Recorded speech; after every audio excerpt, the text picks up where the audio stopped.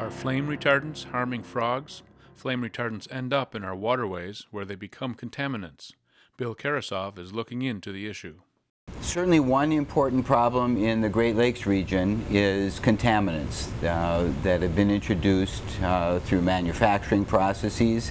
Uh, but another problem uh, in many places is uh, high nutrient loads into waterways.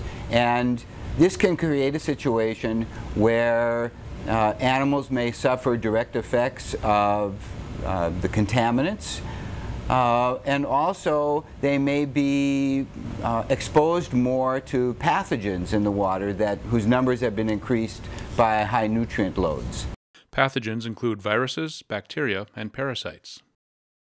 The animals in this research are northern leopard frogs. They're native to Wisconsin. So what we're interested in in this, pro in this project is how contaminants affect frogs and whether exposure to contaminants might make them a little more susceptible to some of the common pathogens that occur out in the wild. Tawnya Cary is a PhD student in Karasov's lab. The frogs play an important role in, in, our ecosystem, not only in the aquatic ecosystem, but also in the terrestrial ecosystem. Um, so they are a main portion of the, the, the food web, um, playing in terms of like juvenile fishes and even older, uh, older adult fishes really rely on, on tadpoles for, for a source of food. Um, and we're interested, of course, in our, our fish populations and keeping them healthy. Um, in terms of uh, them as, as adults, they control insect populations too. They're large consumers of, our, of, of insects. Um, so they do play vital roles in both the terrestrial and aquatic ecosystems. Also, we can think of them as indicators as to the, the health of our, our um, environment and um, kind of as a heads up as to what we should be concerned about in terms of how environmental contamination might impact humans.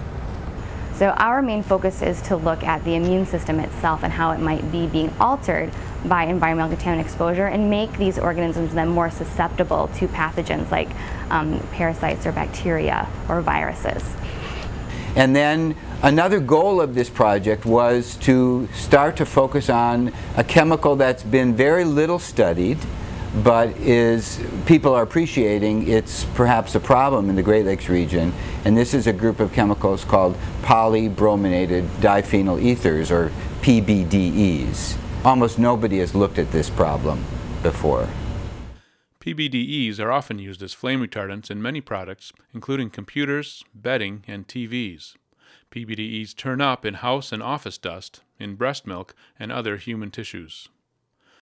The researchers have been raising leopard frogs on a diet laced with different amounts of PBDEs. What we have here is um, a tadpole northern leopard frog, and this guy's been being exposed to polybrominated diphenyl ether, or the bromated flame retardant, um, through its diet. And we were watching him from when he first began swimming and first began eating, all the way through to metamorphosis. The mature frogs are fed crickets until they can be analyzed. We anesthetize the frogs before we do any sorts of procedures, uh, dissections, um, so that they, they don't feel anything, of course. I mean, this is a solution called MS222, um, and it's used in pretty much every aquatic organisms for anesthesia, and it's a barbiturate, and it's, it's pretty much going to make them kind of go to sleep. Then we just like to do what we call a toe pinch, just to make sure that there's no response. And he is fully under. The analysis involves sampling the frog's blood. The animal's veins are so small that blood must be taken directly from the heart. The blood samples are assessed to measure the health of the frog's immune system. The project's first findings suggest that PBDEs may indeed be a problem in the Great Lakes. And what we found was that levels of PBDEs in the food at, at, quite low levels that occur in the environment or that could occur in the environment were uh, increasing mortality. We had some uh, increased deaths in, in tadpoles that were eating that food and uh, slower growth rates and slower rates of development. Check back here for updates on this research. Brought to you by the University of Wisconsin Sea Grant Institute.